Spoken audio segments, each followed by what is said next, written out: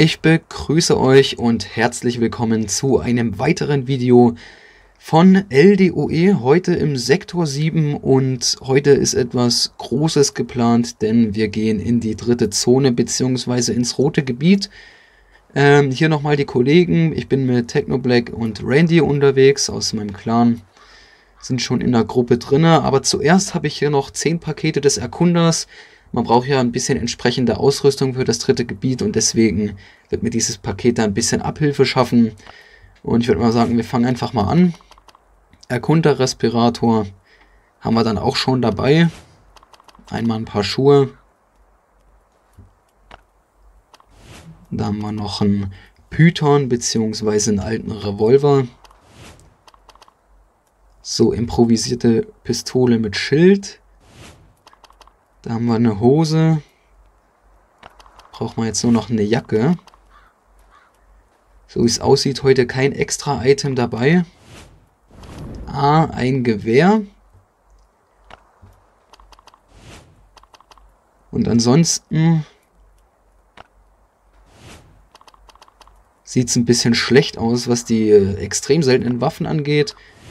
Und eine Jacke haben wir leider auch nicht bekommen. So, nehmen wir mal eine Hose. Ist noch nicht draußen.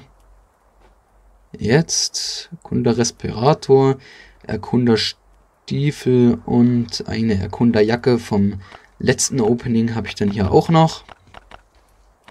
Ihr seht, ich bin schon ausgerüstet, habe ein bisschen was auch zusammengebaut vor einiger Zeit.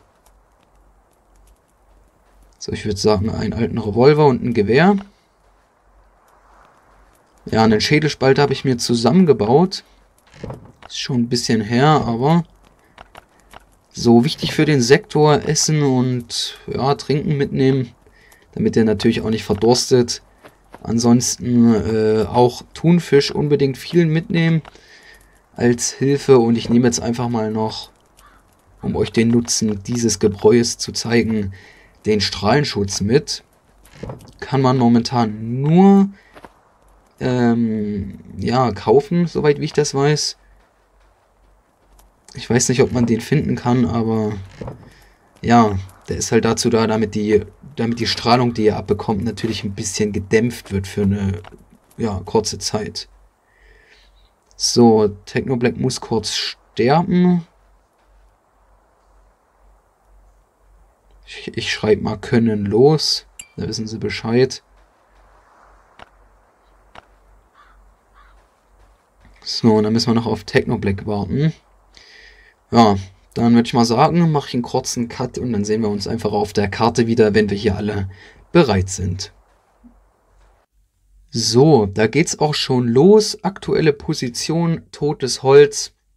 Wenn wir einmal auf der Karte sind, können wir dann noch die Belohnungen hier mitnehmen von den Ödlandmeisterschaften und ja, würde ich mal sagen, eintreten in das Gebiet und dann mal gucken, was die Strahlung sagt, weil die ist nämlich in den Gebieten, desto schwieriger sie werden, natürlich auch äh, ja, schwieriger, beziehungsweise häuft sie sich, beziehungsweise wird stärker.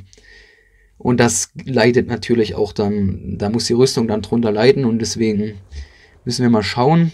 Also Erkunderrespirator plus 6, ansonsten ja, macht ihr glaube ich über 20, 26 glaube ich. Und hier sind auch die Kollegen. Dann nehmen wir mal eine Schrotflinte und eine Schädelspalter rein. Und am besten den Thunfisch. So, und vielleicht kriegen wir da auch die Quest fertig mit den Moder-Zombies töten. Die habe ich ja auch schon seit Ewigkeiten dort. Und ja, würde ich mal sagen, ballern wir mal drauf los. Okay, das war das ging jetzt gerade richtig schnell. Okay. Also zu dritt ist es schon ein bisschen einfacher. Die Strahlung steigt, desto näher wir an der Kiste sind. Auch unbedingt auf die Lebensdauer achten. Also auf die Lebensanzahl. Okay, perfekt. Moda Zombie ist weg. Hat nichts Gutes gedroppt, nur ein Seil. Den Stein hier, den brauche ich nicht. Ist jetzt nicht sehr effektiv, sollte man nicht machen. Ich mache es aber, weil die Rüstung sehr drunter leidet. Deswegen, ähm, ja, damit ein bisschen Zeit eingespart wird. Wir haben hier Dünger, bisschen was zu essen und ansonsten den Rest lasse ich mal für meine Mates mit drin. Und auch unbedingt wieder aus der Strahlung rausgehen, denn sonst kann die uns dann tatsächlich auch noch ordentlich was an Leben wegnehmen. Wir sehen es schon am Akunda-Respirator. Der hat jetzt schon ordentlich gelitten, nur von dem bisschen. Also was die Strahlung angeht, muss ich persönlich sagen, ist meiner Meinung nach ein bisschen übertrieben. Finde ich ein bisschen zu viel, aber ja, mal abwarten, was da die nächsten Updates vielleicht noch an Änderungen im Sektor mit sich bringen. So, war das jetzt hier nur eine Kiste oder? Ich habe keine Ahnung, was jetzt hier... Ah, hier unten haben wir noch eine, alles klar. Gut, dann würde ich mal sagen, einer muss immer den Anfang machen. Unterstützung gibt es ja sowieso von allen hier. So, also hier auch wieder nichts so Wertvolles drin.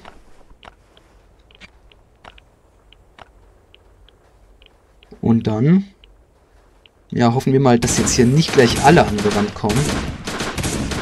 Aber das sah ja schon mal gut aus. Okay, und dann mal die nächste.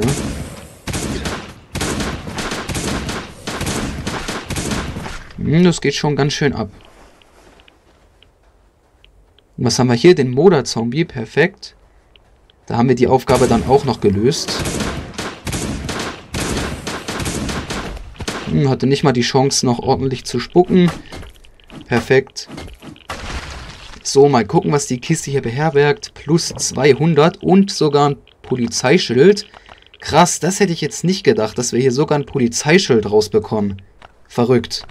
Also, es gab mal ein Video, ähm, da habe ich schon ein Polizeischild gefunden, aber dass das noch aktuell ist, dass man das finden kann, crazy. Also, ich würde einfach mal sagen, ah, die Kleidung hat schon ganz schön gelitten. Das ist halt wirklich Ah, es ist, nochmal werden wir nicht in das Gebiet können, deswegen wäre es praktisch, wenn hier noch eine dritte Kiste ist. Aber es sieht schon ja, nicht ganz so gut aus. Nee, na, schade. Schade, schade. Aber ein Polizeischild, echt krass. Es liegt natürlich jetzt auch daran, dass wir zu dritt, da steigt ja die Chance auf diesen Beutebonus um 100%. Deswegen äh, wird das wahrscheinlich jetzt ja auch ein bisschen mit reingespielt haben, dass wir jetzt tatsächlich ein Polizeischild bekommen haben. Ähm, ansonsten, dann gehen wir mal ins gelbe Gebiet. Dafür sollte die Rüstung noch ein bisschen ausreichen. Ansonsten bekommt man halt schon relativ gute Ausbeute, was dann dieses Gebiet angeht. Allerdings sieht man dann ja halt auch, dass eine Respirator, ähm, Respiratorrüstung mit drauf geht. Man muss, äh, ja, zu dritt sollte man schon sein. Und natürlich sollte man auch entsprechend Waffen und Rüstung haben, sonst wird das nichts. Also es kostet schon ein bisschen was. So, dann checken wir mal jetzt hier den Loot, beziehungsweise was die Kisten hier hergeben. Da ist der Randy. Hier ist der Technoblack. So, und dann mal gucken, Schön wäre es gewesen, wenn wir ein bisschen Aluminium gefunden hätten. Dann könnte man vielleicht im äh, einigen der nächsten Videos die Chemiestation mal fertig machen. Aber ist ja auch noch ein etwas weiterer Weg bis dahin. So, hier dann die nächste Wache. Oh, oh, oh, oh. Also passt auch unbedingt auf euren Schaden auf. Die Strahlung hier ist eigentlich auszuhalten, aber man muss dann halt auch wieder die Schläge von den Zombies im Blick behalten. Also hier ist gar keine Strahlung, das heißt hier geht die Rüstung gar nicht zur Neige, allerdings sobald man sich einem infizierten Gegenstand nähert, ist dann auch die Strahlung wieder entsprechend größer. So, hier noch der letzte. Plus 100 geht eigentlich auch voll. Oh, und hier haben wir das gute Armeefutter. Beziehungsweise, wie wird es hier genannt? Armeefeldration. Also auch nichts anderes als was zu essen. Ist jetzt nicht so besonders, aber ist halt so ein spezielles Item, was man ab zweitem Gebiet aufwärts finden kann, beziehungsweise ab gelbem Gebiet und schwieriger. Ja, ansonsten müsste hier eigentlich irgendwo noch eine Kiste sein. Das wäre sonst echt mau, wenn das jetzt hier nur eine Kiste war.